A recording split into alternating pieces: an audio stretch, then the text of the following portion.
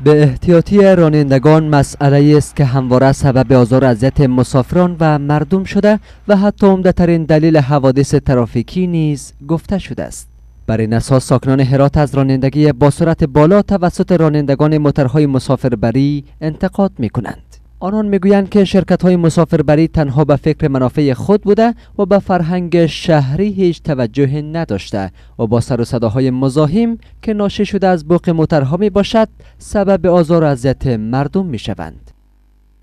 فکر می‌کنم هر جا که موتر بیرون میشه فکر شورای نه بر از زیرا که ما شما حرکت می‌کنه چند ولر پیش رو داره حتما به داخل شهر بر می‌خوره و منجی همینا که هستم ایت بی تی تی می‌کنن در صورت خو اینا.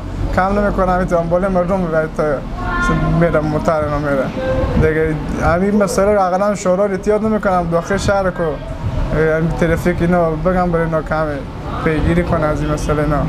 ساکنان هرات از مسئولان می‌خواهند که به این موضوع رسیدگی کرده. و از ایجاد مزاحمت برای مردم جلوگیری نماید. در این حال فعالان مدنی نیز خواهان جلوگیری از این کار رانندگان بوده و می‌گویند که مسئولان باید مانع سرعت بالای موترهای مسافربری شده و از طرف شب برای آنان اجازه ورود به شهر را بدهند.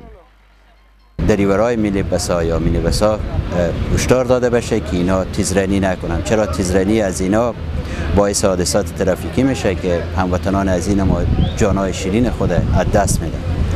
و ما شما شاهد از این هستیم که هزارها حادثه توسط از این مینیبس ها یا موترهای لینی که مسافرین به کابل و قندهار یا سایر ولایات افغانستان انتقال میده در مسیر شارها و همچنین در داخل شهرها صورت گرفته. در همین حال مسئولان ترافیک هرات می‌گویند که هر راننده‌ای که با سرعت بالا و برخلاف قانون عمل کند مطابق به قانون ترافیکی با آنها برخورد خواهد شد.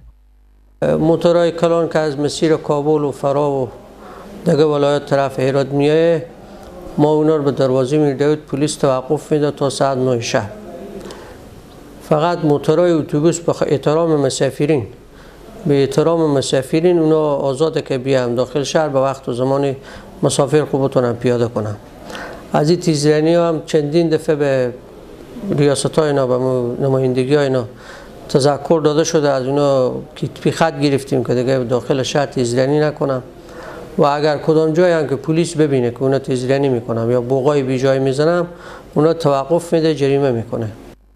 به احتیاطی رانندگان یکی از موضوعات است که همه ساله جان صدها نفر از مسافران در هرات را می‌گیرد. این مسئله همواره با نگرانی مردم این ولایت همراه بوده و آنان از مسئولان می‌خواهند تا از رانندگی نادرست رانندگان در داخل شهر جلوگیری کنند.